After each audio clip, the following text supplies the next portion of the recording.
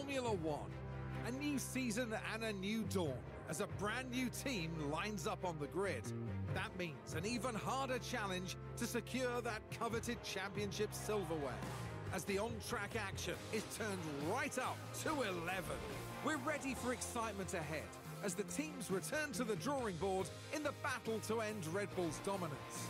They'll need to balance their aspirations for high performance with the risk of pushing too far and inviting catastrophic failures out on the track.